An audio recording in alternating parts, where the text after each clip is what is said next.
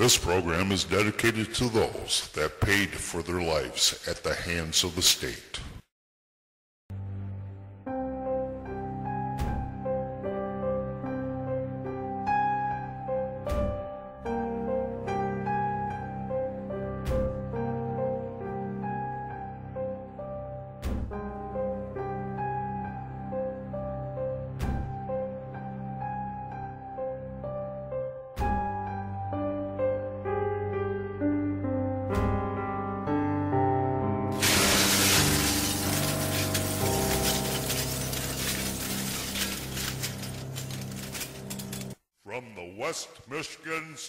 Studios of WKTV, let's go inside for Silent Voices.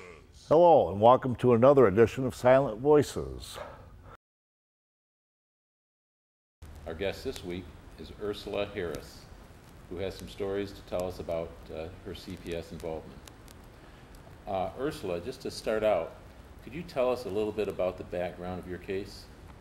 Well, um, initially we moved to Ohio, or moved from Ohio to Michigan, and um, had called and asked for some help for my daughter. She had some um, issues with postpartum after she had her children, and they came out on two separate occasions and decided that there was really nothing they could do uh, to help us or no services to offer my daughter.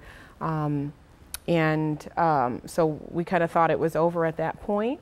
And then she had a CMH worker that came to our home, and the CMH worker had witnessed an argument between my daughter and her boyfriend. And in that argument, my daughter, you know, raised her voice and lost her temper and cursed and ran out, you know, the door after him and um, leaving the children at home with myself. I was I was at home and.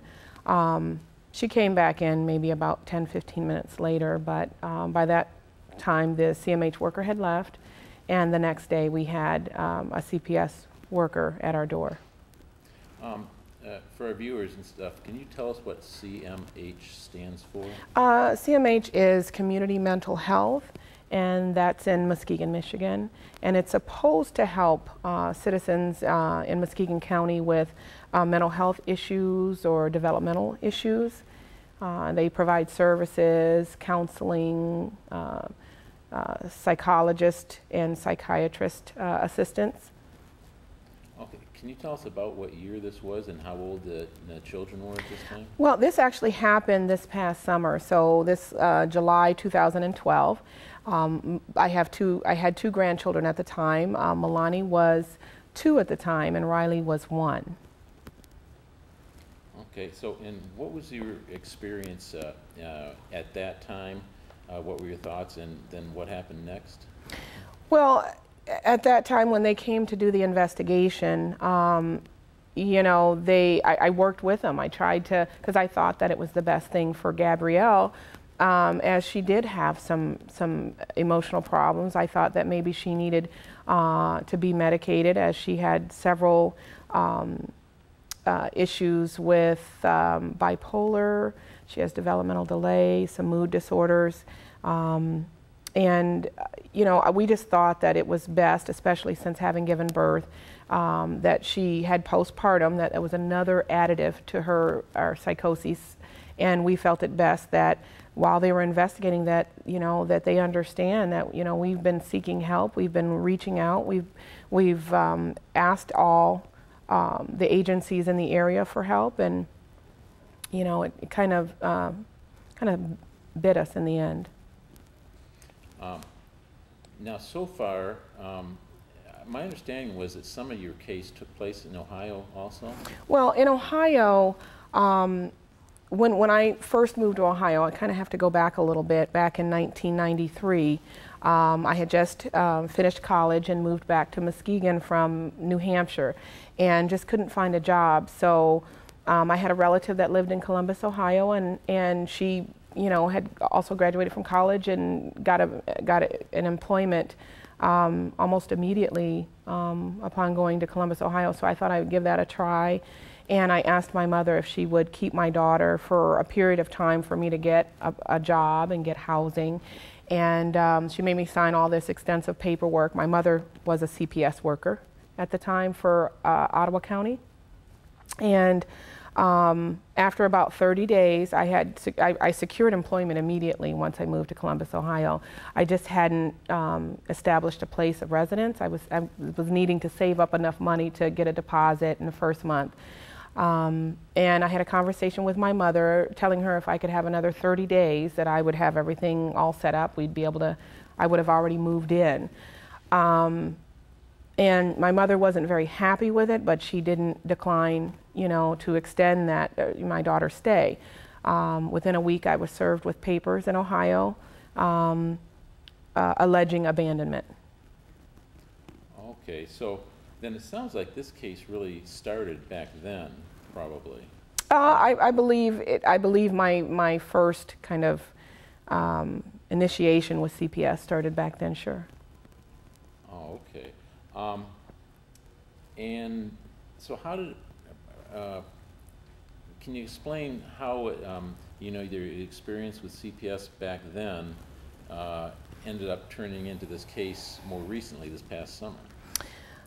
Well, I don't, I don't know that they kind of, I, I think they inadvertently kind of tie back to each other. Um, but at the time when my mother filed uh, the CPS case, um, you know, it was, it was just as difficult to navigate within the system back then. Uh, I think the difference now is that I'm, I'm older, I'm wiser, um, and back then I really didn't know what my rights were, although I won.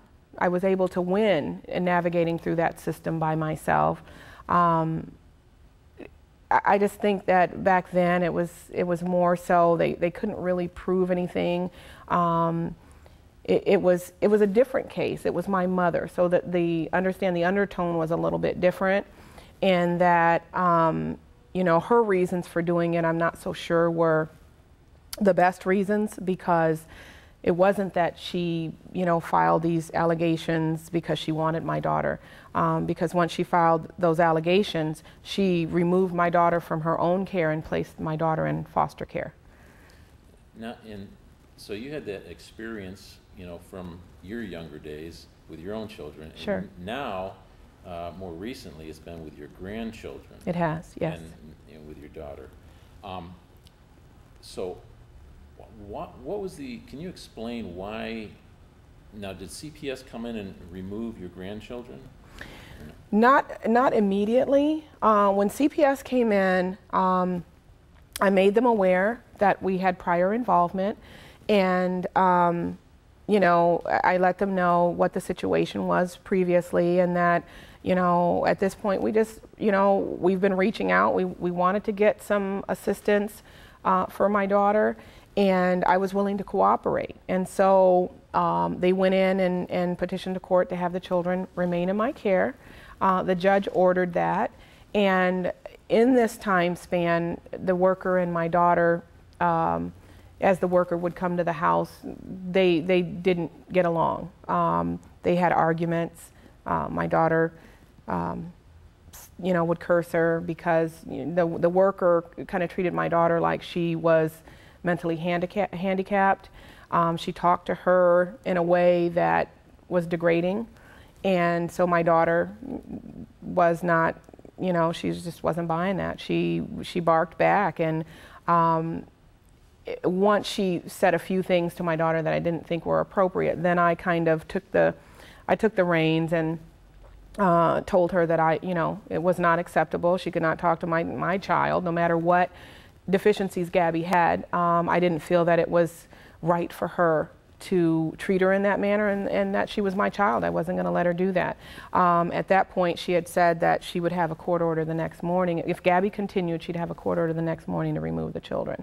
And I told her, no, you're not going to do that. You can't do that. Just because you don't get along with my daughter, you can't do that. But she did. So, okay, so that's, uh, uh, so uh, then I suppose that's somehow tied into the reasoning why they decided to uh, take the children into custody? Um, I think that was, I think it was more of a personality issue. I think it was more um, uh, just an abuse of, a power. I saw it as, you know, her threatening, if you continue to do this, I'm going to have them removed. Certainly, if I call you a name or call you uh, something out of line, that does not you know, give you or garner you the right to remove children. Um, you remove children for allegations of abuse or neglect. You don't remove them because you and I have a, a personality conflict, and that's what she did. Um, for context then, what was the approximate date when this happened, when they took the children? Um, July, I believe it was July 27th, 2012. Okay, and, and was there an agency or uh, also involved with this? Uh, well, CMH, the Community Mental Health, um, that worker was at the home. She's the one who filed the complaint. And we never really, we've never really seen what the complaint was, even to, the, to, to this day. Um, they said they, they were not entitled to show me anything. Um, and my daughter couldn't tell me what they should, they never give her anything in writing. They show it to her and then they you know, even her attorney shows it to her and then it goes back in the file. They don't make copies for her, her own records. They don't feel that she can cognitively understand, um, you know, what's in those letters. But I will tell you, um, my daughter is a very high functioning. She does have some developmental delays, more cognitively um, uh, delayed than anything. Um, she graduated high school, mainstreamed. Um, she went off to culinary arts school, so she's not challenged to that degree. Um, she's very, very high functioning. Um, she, I think more socially, we, we have some delays, but she's very bright. And now, uh, so they, they took the children in July, Mm-hmm. and, and then um, did, did you eventually get the children back? then? I did. The, ne- the very next court hearing, because I'll tell you that them taking the children was a huge production. Um, it was the worker bringing the Fruitport police to the house. It was um, her, you know, in order for her to get that um, uh, accompaniment from the police, she indicated she had a court order.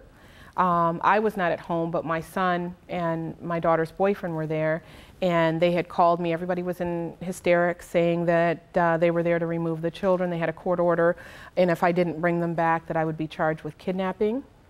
Um, and so the next morning, I brought the children into DHS, and um, you know, it was a very difficult situation to just turn over your children. And um, we weren't able to have a say in it until the next hearing. And at that hearing, it was discovered that there was no court order to remove them from my home. Um, we discovered that, you know, the judge was extremely upset. And, and we're not talking about Judge Pittman, we're talking about the referee that you have before the case gets adjudicated. Um, and that refu, refu, uh, referee had indicated that, you know, um, you remove children outside of my order. You know, they never do that again. You can never do that again. I don't know that they did anything about it. Um, nobody ever issued an apology. I wrote and filed complaints, grievances, all the way up to the Office of the Ombudsman, um, up to the Family Advocate. I wrote directly to Maura Corrigan's office. Um, and of which they replied that they, re, they were in receipt of my concerns and that they would investigate. I requested a foster care review. Um, they turned me down for the foster care review. Um, they felt that they don't really deal with those issues, which is the same thing the Office of the Ombudsman said was we don't really deal with personnel issues or, you know, if a if a worker, you know, um, stepped out of line of their responsibilities or their duties, that's really nothing nothing so severe that we need to get involved. But really, you know, the workers are the ones that are making these allegations. The workers are the ones who are removing the children. They're the ones who are um, supposed to be following the court order. And so if you're not going to hold them account, if you're not going to hold them accountable for the things that they do, then, you know, it's kind of, you allow them to do what they want to do. So they were telling you, when they were taking the children, that they were going to charge you with kidnapping because they had a court order. But when they find out that they don't have a uh, court order to do this, essentially, I would think they should be charged with kidnapping. Uh, Well, that's- don't have a court order. That's another case. That's something that we're going to pursue down the road. Um, now, now, how old is your granddaughter? She's now three and a half. Uh, how, can you, can you, you know, briefly explain how traumatic this might have been for her and how long she was actually gone? Well, my, my granddaughter Milani and my grandson Riley were removed. Um, it, they, they had to be um, peeled off my leg. Um, they were very upset, and um, it was just a horrible day to remember. Um, I think um, when she was returned, it took her probably a, probably about a day to even talk to me. Um, she never mentioned who the people were that she stayed with or anything that happened in that home. Um, she just, even to the, I mean, she just never spoke of it. She just never wanted to talk about it. She just got real quiet about it. Um, and I, I don't really know. I mean, her behavior was a, you know, a little different when she came back, a little difficult. She wasn't really listening, um, um, didn't follow rules very well, and just was, you know, almost like everything that she was taught before. You know, you had to reteach her And how many days were they gone? actually? for about a week and a half. It was a little bit less than two weeks. And we had to repotty train her. She re- regressed completely. Um, you know, it was just starting all over. And um, this, during this week and a half, did you have any contact with her? or Not at all. They would not let me talk to her on the phone. They would not let me see her. There was no contact whatsoever. Was there any reason given for that, why you couldn't even No. talk with them under supervised visitation or something? No, nope. Could anybody else in your family go talk to them? Nobody was allowed to talk to them while they were gone. This was through Holy Cross here in Grand, in Grand Rapids. Um, they refused to allow us to know where she was. Uh, we just wanted to know if they were safe. Um, So for a week and a half, they were essentially kidnapped with no authorization, and there was, this was done under, uh, uh, by the police. They had guns, I suppose, right? Um, I would imagine they did, but I was not there. My son was there. He was very traumatized by it. Um, he was screaming, you know, Mom, just give him the kids. Please just give him the kids. I don't want you to go to jail. And, you know, it was just, it was a horrible night. It was not anything that I, I even, Now, um, I, this seems just incredibly traumatic, not, not only for the kids, but uh, also for the rest of the family. I mean, what a disruption. I'm sure it had an effect on everybody's, uh, you know, jobs. I mean, how, how can you go back to work the next day when your grandchildren, your children are taken? It, I mean, they were actually taken um, the Friday before I was supposed to start my new job at Spectrum Health. yeah, and I don't think we have time in this show to go into that, but I think most people can imagine just how traumatic that would just, that would be, just Sure. there, there can't hardly be a more, you know, you know, uh, case where it would just upset somebody where they think they can just go right back to work as if nothing happened. Sure. Now, um, just to be clear here, and I, because I find this so hard to believe, you, you contacted the court and the, uh, the, the agencies, and, uh, did you even contact the police department? Is, and nobody's getting in any kind of reprimand for this behavior? Um, with DHS, I sat down with Bruce Wright, um, who is, I believe, a director down uh, for CPS. Um, met with him, gave him um, a 12 page complaint, and um, then met with Jane Johnson, who is the, I believe, the director or executive director over the Muskegon County DHS. And uh, she had asked me back in August if I could give her till the first week in September to respond to all of my allegations. Um, and if in fact those things happened, she would address them and make corrections and would address the corrections made in that letter. She's never returned a phone call. I've never heard from her since. I've sent an email every week for about two months um, to her. None were replied. I spoke to her assistant, who would always apologize for Miss Johnson not returning my call, but you know, just told me to co- continue to email her and until she responded, and she never did. Uh, that's just, just amazing. And, um, and we'd like to go on too, because it's such a short show, we've got to cover so many, so much material, you know, briefly. Uh, Another issue that we've seen a lot of um, uh, people complain about is this thing called the central registry, Sure. where people can get put on the central registry. It's almost like a secret blacklist for parents, and they can be put on it without any kind of due process, and no kind of trial, no kind of hearing. Um, And I understand that you've had some experience with this too. I mean, we only have a few minutes left, but can you kind of explain your story on the Sure. central registry? Well, when my mother, um, you know, filed for abandonment charges uh, back in '93, um, I wasn't aware of a central registry, um, and so apparently my name was there. However, when they first did their investigation, uh, present day, um, for the situation with my daughter, I was not on the central registry. They, they could not locate me on the central registry.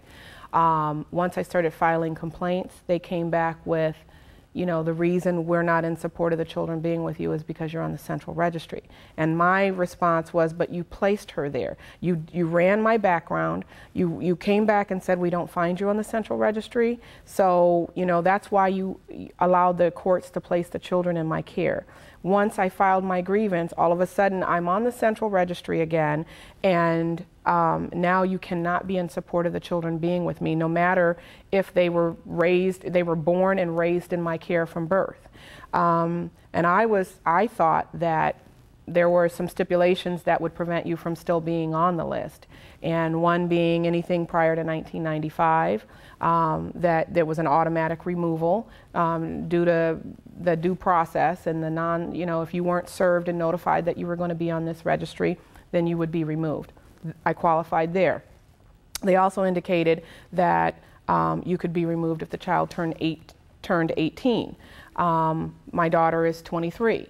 Um, and then they also said, you know, if the event occurred more than 10 years, 10 years or more, then you could be removed. All of this has occurred, you know, 20 plus years, and I'm still there.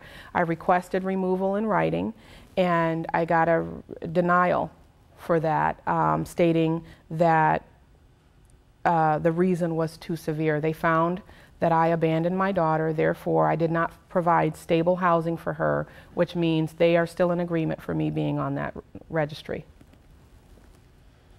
Um, Yeah, th- uh, I- we hear about these stories about the central registry uh, repeatedly, and I think most people don't understand just how uh, people can be put on this list that can affect their parental rights so profoundly. And it's really just, um, just a, a- a employee at the at DHS or one of the organizations can put you, secretly put uh, someone's name on this list, and they don't even know that they're on the list. Well, my concern is how did I get back on the list, or how did I get on the list? Because apparently I wasn't on there before. So now that you know, I brought it to their attention, and maybe they were able to uh, find the file, but um, you know, I was back on the list after I filed my complaints. And now currently, are you still on the list I am day? still on the list. Uh, they refused to remove me. He said I could request an administrative review hearing, and um, he said that it. He said I could challenge it, and it would come back to him, and then he would look at my challenge and decide whether or not to accept or reject it, and then at that point I could ask for an administrative review hearing. Okay, and now a few loose ends here too. You talked about the referee reprimanded, reprimanded the CPS workers Correct. sternly, which doesn't seem like much of a penalty for kidnapping No. two children for a week and a half. Uh, did you ever get in front of the actual judge in that case? I did. I'm in front of Judge Pittman now, um, but because it's my daughter's case, they have all kind of um, they've silenced me. They feel that they don't need to. They don't owe me any explanation. They feel that um, they, you know, they direct their comments or concerns to my daughter, um, and they don't have to address me. So I don't get to speak to Judge Pittman about any of my concerns. All I do is continue to file my complaints and uh, post on Facebook. They've, take, they've taken all my Facebook postings and brought it to court. Um, they've taken the Michigan for Parental Rights postings that I have and brought them to court uh, and, and tried to use them as kind of a ploy, almost like an intimidation thing. Like, you know, we're watching you, we see what you're doing. And the judge just indicated to me that um, he could not take away my constitutional right and tell me not to do it, but that it wasn't in my best interest to pursue doing it. continuing on with it. Um, yeah, I could see, understand how, since you're actually not a party to the case, you're the parent. What about your daughter? Has she got any, um, had any uh, good experience with the judge? Um, no, nobody really lets her talk. Um, her attorneys come in um, at the last hearing we were at last week. Um, they were all there for an hour, and the judge was getting ready to come into the courtroom before her attorney even spoke to her. Um, because from, from what I'm hearing, I would think the judge would also want to reprimand CPS in a case like this, but that hasn't happened in this case yet? Well, CPS is not involved by the time we get to the uh, adjudication. You have the foster care agency. And what um, has happened with the foster care agency, which is Bethany Christian Services, is um, when we go in, there's a court report, and that court report has a whole bunch of fallacies. Um, you know, they'll say things like she's not bringing them to their doctor's appointments. And then, you know, I, have had to argue and say, yes, I do. I've taken them this time, this time, this time. And then the judge will say, is that true? And, and then the worker will say, well, I, I, I, I'm not sure. Well, why would you even put something in a report as though it were fact if you didn't even yourself try to follow up? Um, and just briefly then, how did Bethany Christian Services get involved with the case?